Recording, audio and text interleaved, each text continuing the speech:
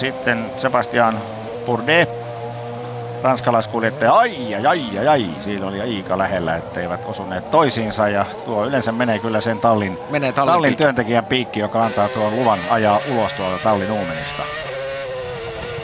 No kaikeksi onneksi siinä selvittiin, noin on semmosia turhia kolareita.